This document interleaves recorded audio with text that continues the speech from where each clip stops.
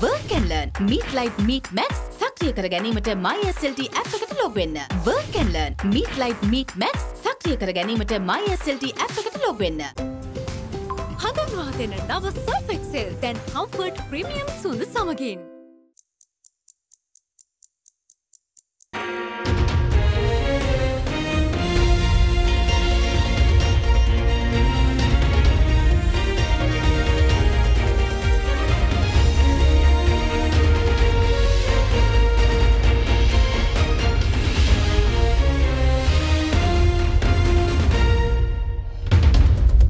On first at 9 tonight, this Wednesday, the 23rd of November 2022.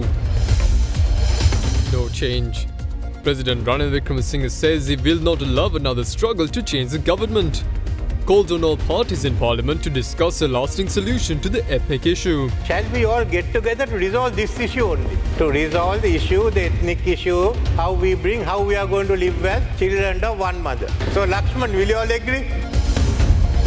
Not interchangeable.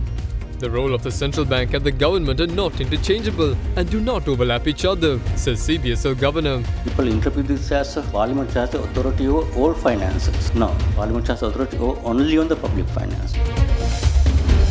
New direction.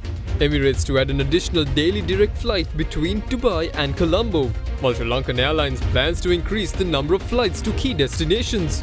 As fast as we can get aircraft, we can increase capacity and increase tourism at the moment. From Ada Derana, this is Ada Derana First at 9 with Andrew Bernard.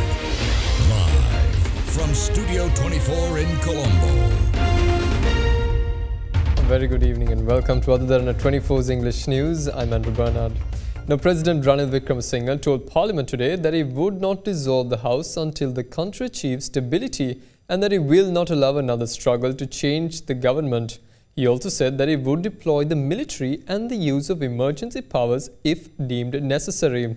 Further, President Wickremesinghe called on all parties represented in Parliament to join a discussion in the week following the next budget vote to discuss a lasting solution to the ethnic issue in the country. More than 40 countries in the world today have a federal form of government. Those are the strongest countries in the world. More than 40% of the population of the world are in federal countries. We don't ask for something that is not found anywhere in the world. We are asking for something that is reasonable, that is practiced all around the globe, that will ensure that all our people will uh, live with dignity and self respect in this country, and we want the majority people in this country to understand that and accept that. After all, you are a preponderant majority, no one can shift that. It can't be bad for the Sinhala people because it was the Sinhala leaders who asked for it. It's true that over time, wrong messages have been communicated to the country and there are suspicions. Those must be allayed and we must resolve this in a just way අරගලයක් තාව ඇති කරනවලු ආණ්ඩුව වෙනස් කරන්න මම ඒකට ඉඩ දෙන්නේ. හමුදාව යොදවනවා අදිසි නීතිය දානවා එහෙම කරන්නවත් කරන්න දෙන්න. දීන්ඩියම්ලට තැනක් නෑ මේ රටේ. ඒකයි කියන්නේ. Having said that, I think all that has to be known about the problems of this country, the ethnic problem, or whatever you call it, from 1984 till now we have done it. There's nothing new to talk about. It is just to take and decide what is relevant, and I think we can do it by next year, which is the, my aim, the 75th anniversary of independence. If you can't do it then, you may not have that Sri Lanka by 2048. So, one is we have to build up confidence with the Tamil community. But we've also got to build up confidence with those people in the Sinhala community who has reasonable concerns as to where it will lead. Shall we all get together to resolve this issue only? To resolve the issue, the ethnic issue, how we bring, how we are going to live as children of one mother. එතුමත් එකඟයි, මමත් එකඟයි. So Lakshman, will you all agree? Come, we are all on one, I think we all think alike, no? It's, yeah, yeah, we, we all want to have a settlement. Lakshan Kiriella පැත්තුවා. මා මගෙනව සඳහන් කෙරුවා මෙතුමා දන්නවා මම හැමදාම මම දන්න එක. බලය බෙදීමට කැමති පුද්ගලෙක්. ඔබ ඔබතුමා දන්නවා. නෑන සජපය ඔක්කොම එකඟයිද? අල්ලයිල්ල කියන්න? අද ඇවිල්ල කියනවා දද බලේ බෙදීමට සජබස් සන්ධානය එකකයි හරි. එනිසා අපි වෙතර ඉන්නේ. එත ඉන්න නැනපි හරි. චරයි If you will call for the meeting of all parties as soon as we conclude the budget sessions before the 31st of December. Uh, once we finish the budget on the 8th, the following week we'll have, all meet. Gotabaya Rajapaksa මැතිතුමාගේ රජය අලුත් ව්‍යවස්ථාවක් හදන්න නීතිඥ කමිටුවක් පත් කෙරුවා. ඒ කමිටිය අපිට එන්න කියලා ආරාධනා කෙරුවා. අපි යන්න ලෑස්ති වෙනකොට එයා අපිට පණිවිඩයක් එව්වා 13 වෙනි ව්‍යවස්ථා සංශෝධනය ආරක්ෂා කරන්න නම් එන්න එපා කියලා. They want to abolish the 13th amendment. I'm going to protect 13. So මම මේ පොහොටුවේ අයගේ හදවතේ තියෙන මොකක්ද කියලා අපි දන්නවා. මේගොල්ලෝ බලය බෙදනවට විරුද්ධයි. Talking about uh, the former President Chandrika Bandaranaike Kumaratunga's proposals. That proposal was designed as union of regions. Now we are not worried about the terminology here. The constitutional terminology is not the issue. It's a question of sharing power both at the center and at the regions. Now if we can come to a collective understanding and put an end to this whole issue and this is a golden opportunity for us to achieve that consensus. So let us not be misled by unnecessary controversy relating to different constitutional concepts, but the intention of devolving power is what is important. Now, meanwhile, addressing the Lalith Athulathmudali commemorative oration, President Ranil Wickremesinghe said he certainly does not like to recreate a beggar nation and that Sri Lanka has to stand on its own.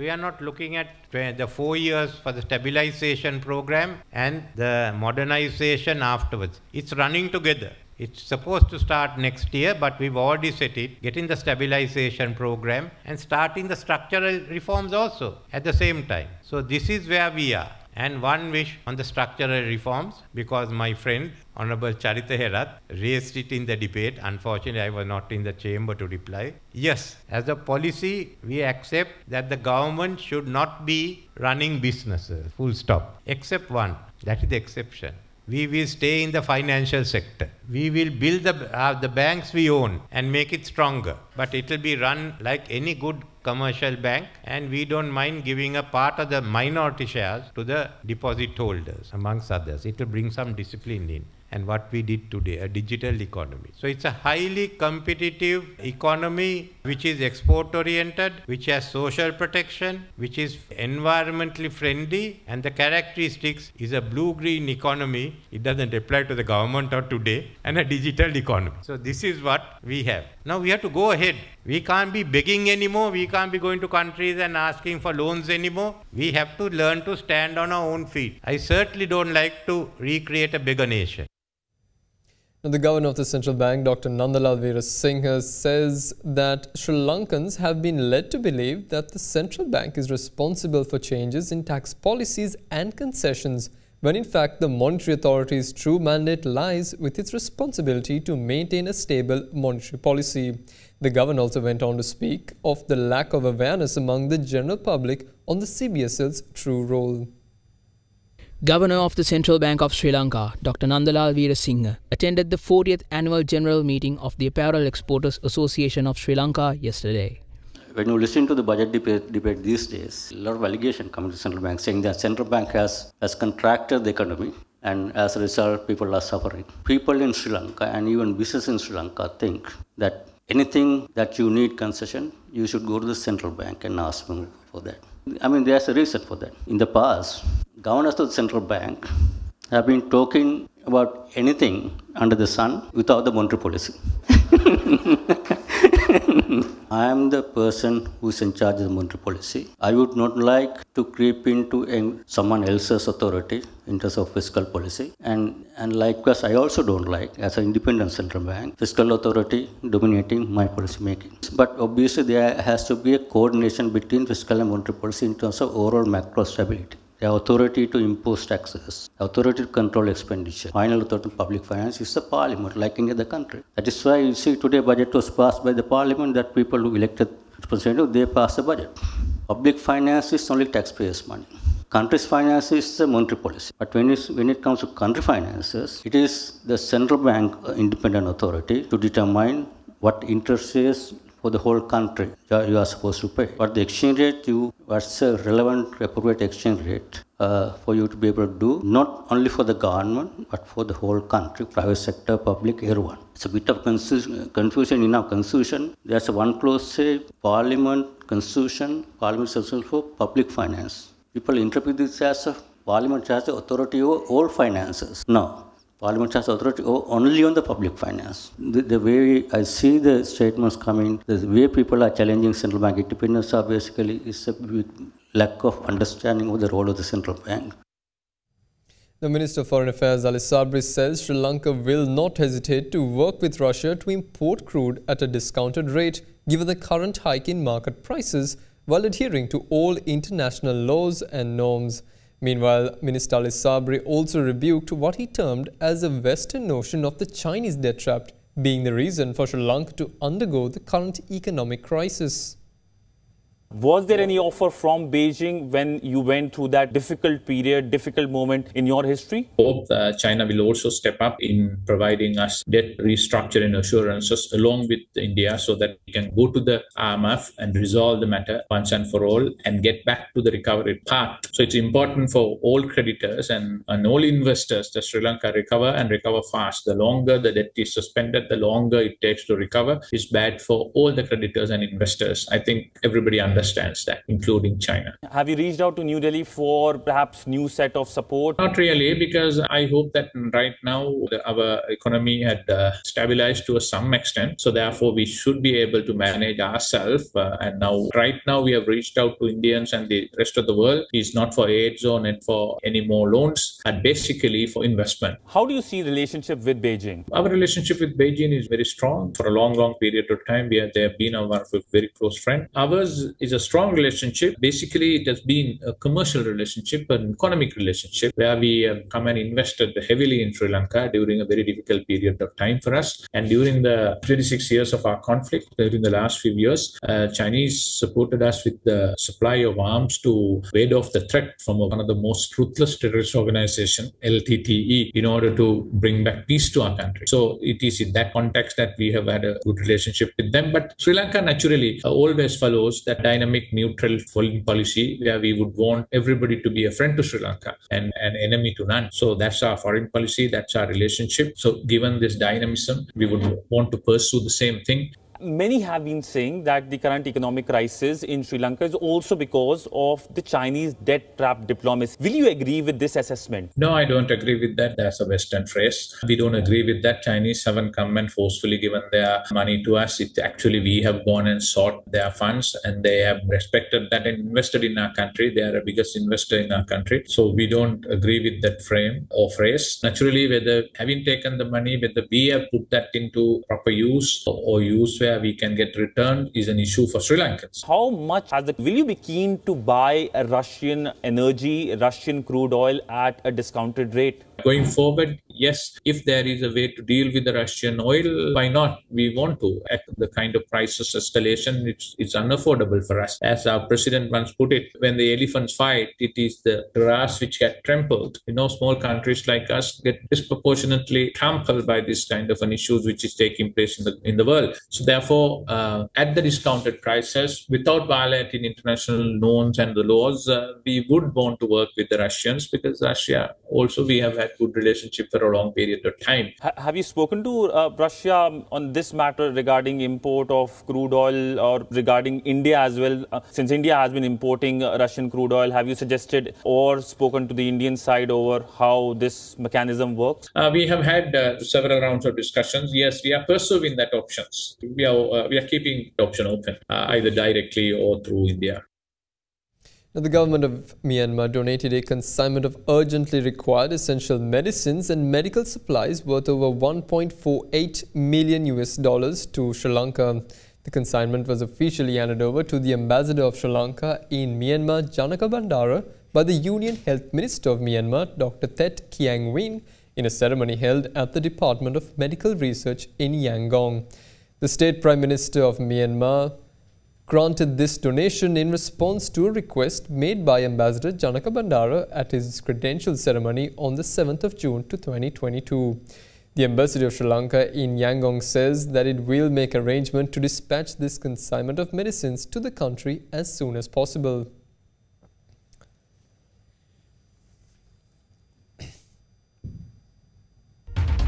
Now stay with us to find out what's new plans the Sri Lankan Airlines has in store after it's able to get all its flights operational after this short commercial break.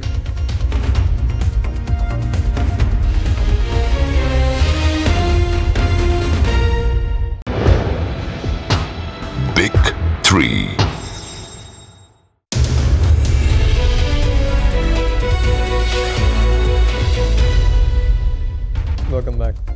The Chief Executive Officer of Sri Lankan Airlines, Richard Nuttall, says they hope to increase the number of flights to several destinations, including London, Singapore, Thailand, and Malaysia, once the airline is able to get all its 24 aircrafts into use next year. Addressing a media briefing today, he also said that it is essential to ensure that the airline meets market demand in order to attract a potential investor. We are hopeful that all of the flights will be full from the tourist destinations over the winter. At the moment, we're not in a position to increase frequencies because we don't have enough aircraft. We are, as is well documented, we are looking to expand. We're working to get approval from Cabinet to replace aircraft that are leaving or have left.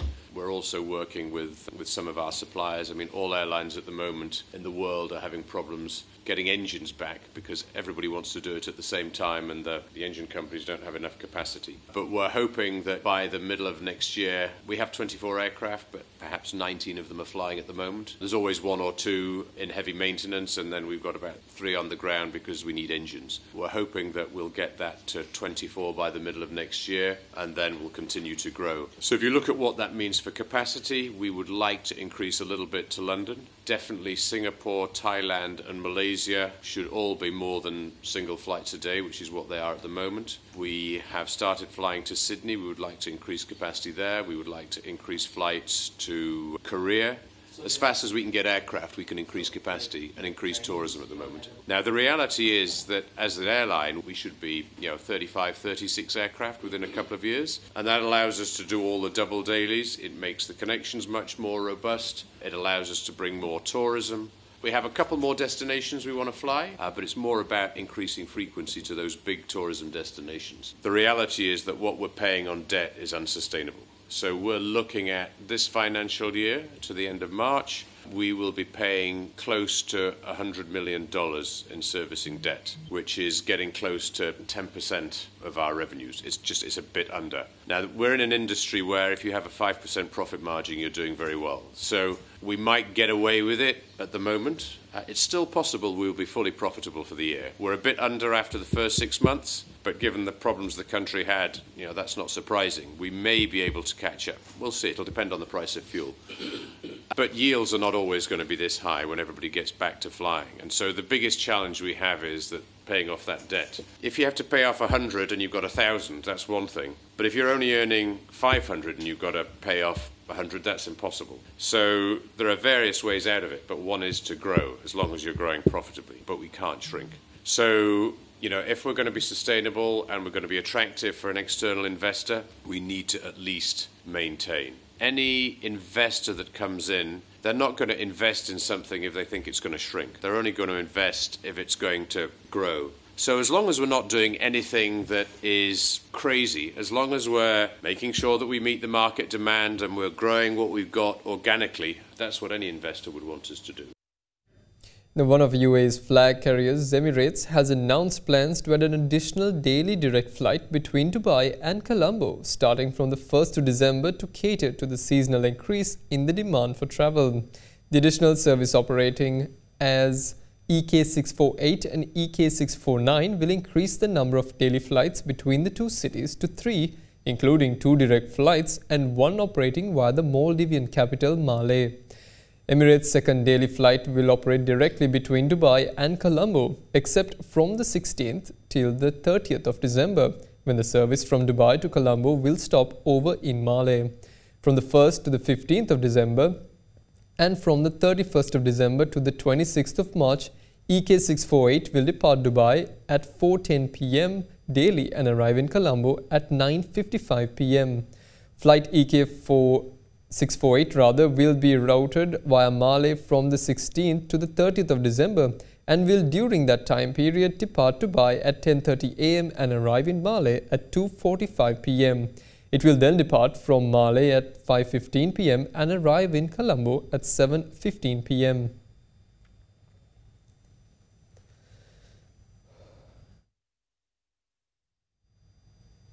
In the meantime, Sri Lankan shares closed firmer for a second session today, a day after the second reading of the budget 2023 was passed in the parliament. The all share price index closed 2.2% high at 8,173.96, its highest since the 15th of November. The more liquid index S&P SL 20 closed 2.4% higher at 2,513.57. The market witnessed a turnover of 1.5 billion rupees, half of this year's daily average turnover of 3 billion rupees. The market meanwhile saw foreign inflow of 6.4 million rupees, extending the total foreign inflow to 18.3 billion rupees so far for this year. The SPI has fallen 4.9% so far in November after losing 13.4% in October. Richard Pieris meanwhile led the market rise with a 11% gain to close at 22.2 rupees a share.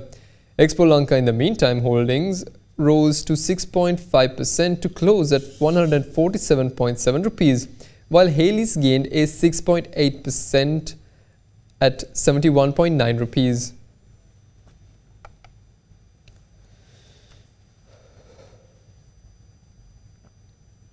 Now let's take a look at how the rupee traded against other major currencies in the world.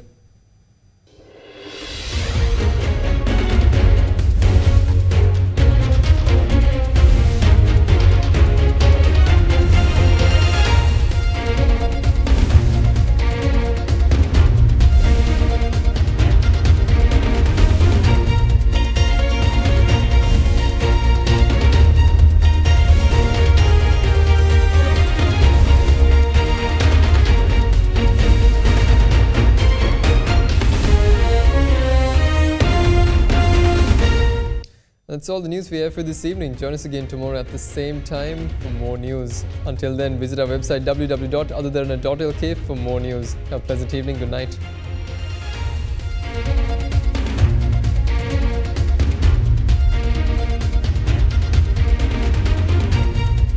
For news and information you can trust 24 hours a day, visit adaderana.lk.